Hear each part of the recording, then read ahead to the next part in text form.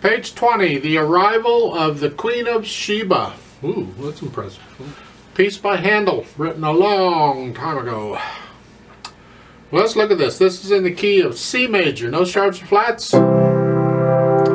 Except maybe for an accidental here and there, you know how that works.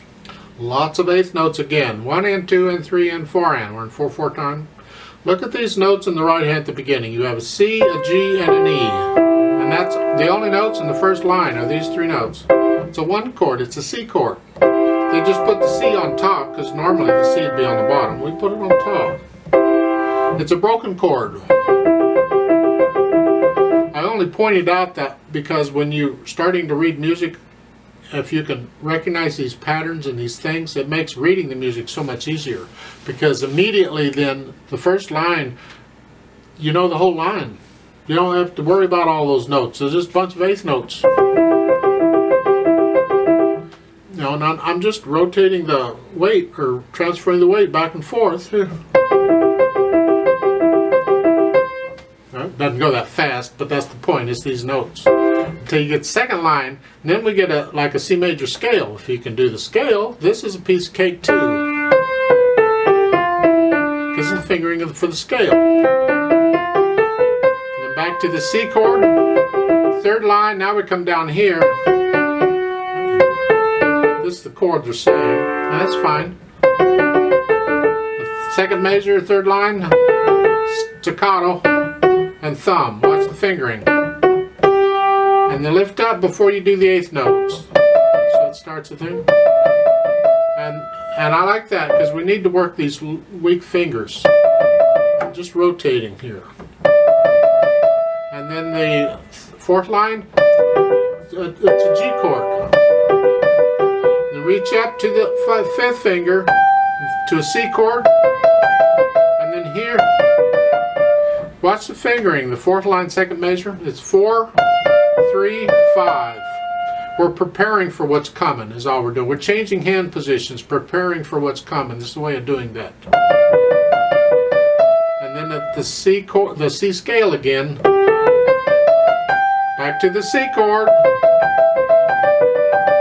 And last measure on that page, watch the fingering. It's, it's, it's a G chord, but fourth finger on the last one, because we need it for what the coming. So in the top of page 21, you have this A minor chord. Going in the next measure is a G chord. So watch out. The notes may not be what you think they are, see yeah.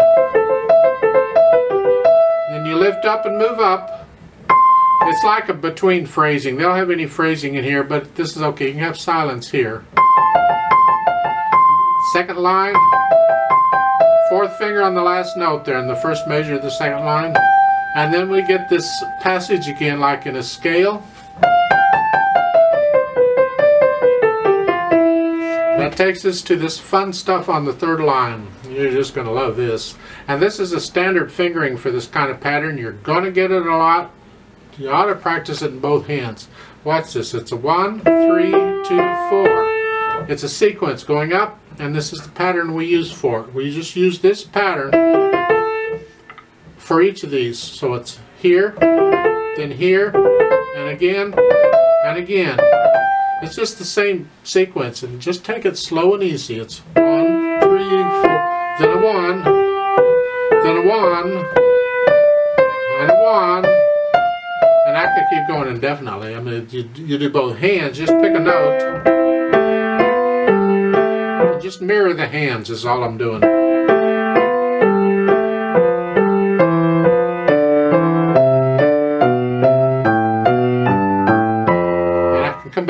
Down, I just reverse the fingering.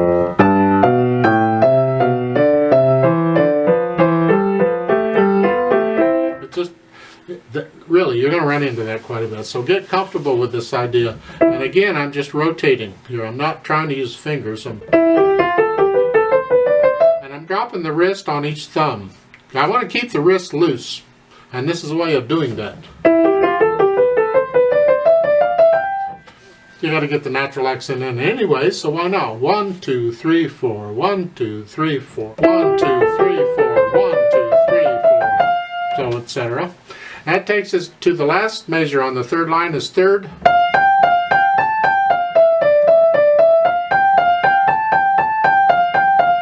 It's like they don't know where they want to go, do they? They just keep doing this. And then in the last line, first measure, you get that pattern again. Except now we're going to end on little finger. But if you can do the third line first couple measures okay, then the last line first measure should not be a problem. You're just starting on second finger.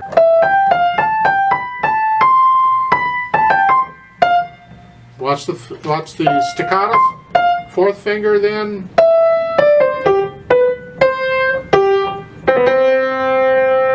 And that last little bit, play those on the beat. The 16th note is on the beat. So it's one, two, three, four. So the left hand is just helping to provide some rhythm, not much rhythm, but the harmony. Thumb on the G. It's almost like a C major scale going down, we just didn't use all the notes. Don't have a lot to say in the left hand. They're half notes, and you got a few F sharp stuck in there. I, hopefully you can get those. You don't need me to point all that out. Just use their fingering, it's fine uh, at the end, at the bottom page 21, the last line, after the whole note, and you have a couple staccatos. Finger or wrist, whichever, just both hands have it, so do the same in both hands. So whatever you're doing in the right hand, do that in the left. Lot going on in the left hand. So when you put them together, do it slowly.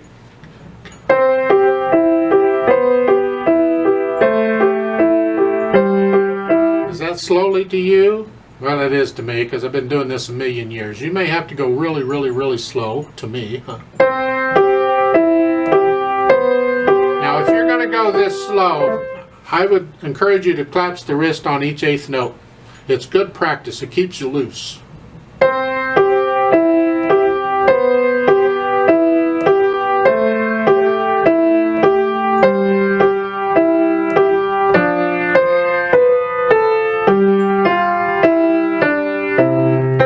See the different phrase there. Lift up. Second major, second line there. Lift up before you go up there. And the left hand has a rest, so it comes up when you play the F.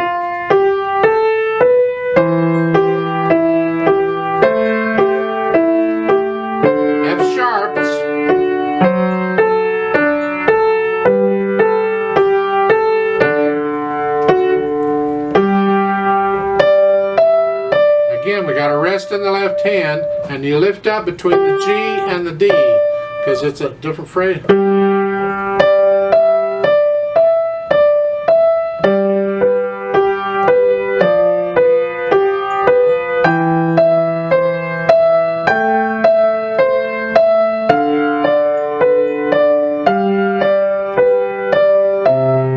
And again, the last line, first measure, lift up between the E and the, separate them little silence. And you got to rest in the left hand.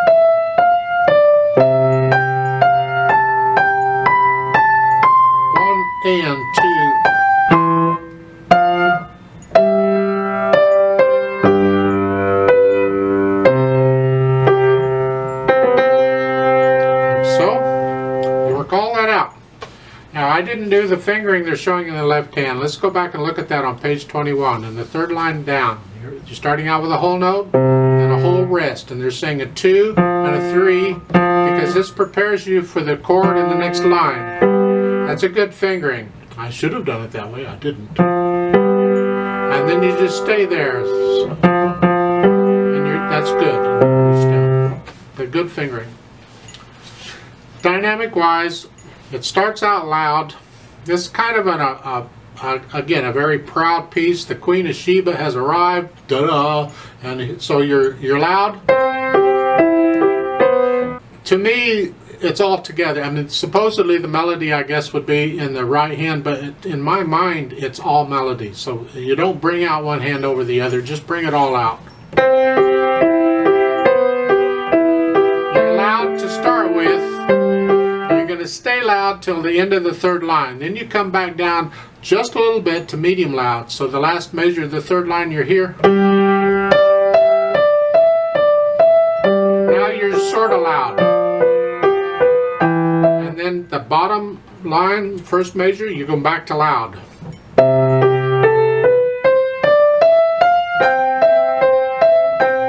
loud again till the end, the last measure of the second line on page 21. Now we're going to go all the way down to soft. So here.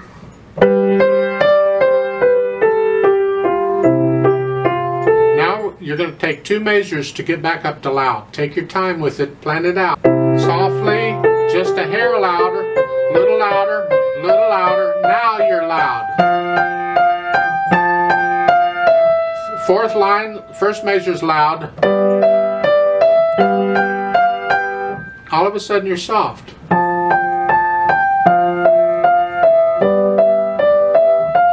And then the last line, the first measure, you're going to go back up to loud.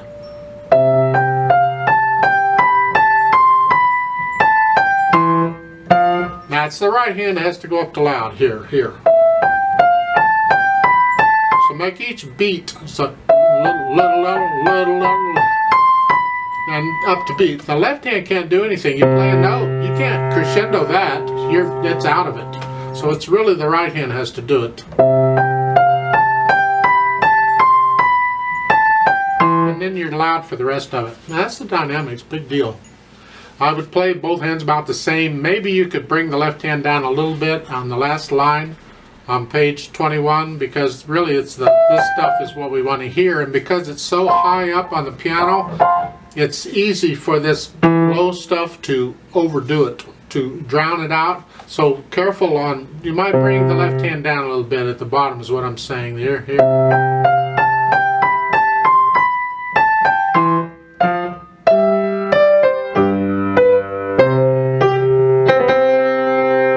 just be careful. Don't let the left hand get too loud on that part. Tempo, it says it's Allegro. You can probably find recordings of this. Look for that uh, Arrival of the Queen of Sheba or that HWV 67 thing from Handel. And you can find recording. Not They're not piano solos, of course, but you can get an idea of what it sounds like. So something like that.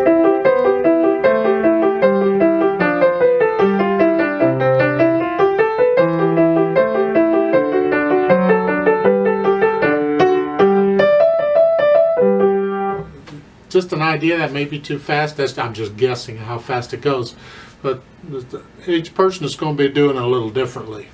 Now they're, they're showing pedal again, but again it's optional. And in my opinion, I, I would not use pedal on this piece. We want it very clean. This is back in the time of Handel where everything was very clean. And if you put pedal on this, it's going to mess it up.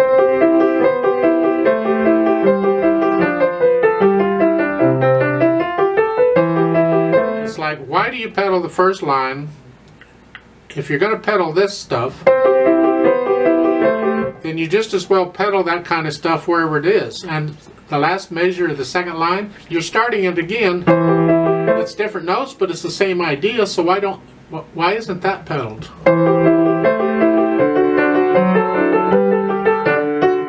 So in my mind, every time I get that, I would pedal it as I said before, I don't recommend any pedal anywhere on this, so I'm not going to show it. If you're going to pedal it, you can pedal it like they're showing. However, all of those are suggestions. So if you feel like you can pedal it somewhere else, go for it. These runs, like in the second line, don't pedal anything like that. You want to hear the run. You, you don't want to smear it. Ah, I mean, that's a style and effect that some pieces may want, but not Handel. This kind of music has to be clean, so don't smear that up. So I'm going to do it without pedal. I like to do a play with me again with you just to check the notes and the rhythms. And we're going to go real slow. I'll give us four counts. So put your hands where they go.